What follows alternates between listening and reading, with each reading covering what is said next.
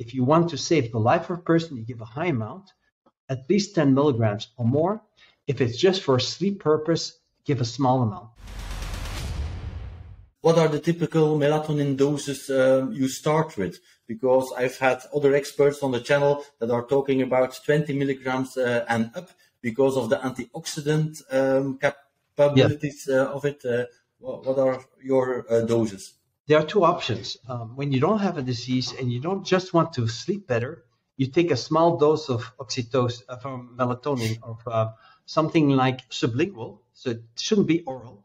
Sublingual 0.1 milligram or 0.2 milligrams or 0.05 milligrams. So a very low dose. If it's oral, it's one milligram, but oral doesn't work so well for melatonin. So it's better to take sublingual.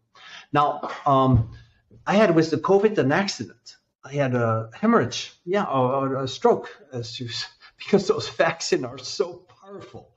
And uh, fortunately, I recovered a lot, but it took a time. I took then 40 milligrams of melatonin, and so I recovered very quickly.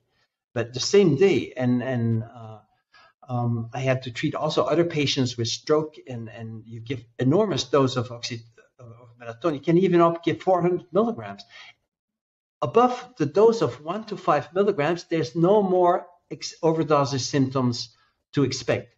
But you, you can have very good antioxidant effects. So if you want to save the life of a person, you give a high amount, at least 10 milligrams or more. If it's just for sleep purpose, give a small amount. That works better.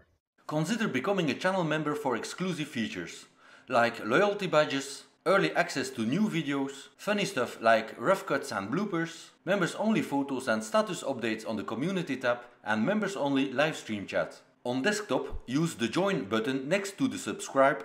On mobile, use the join link in the description.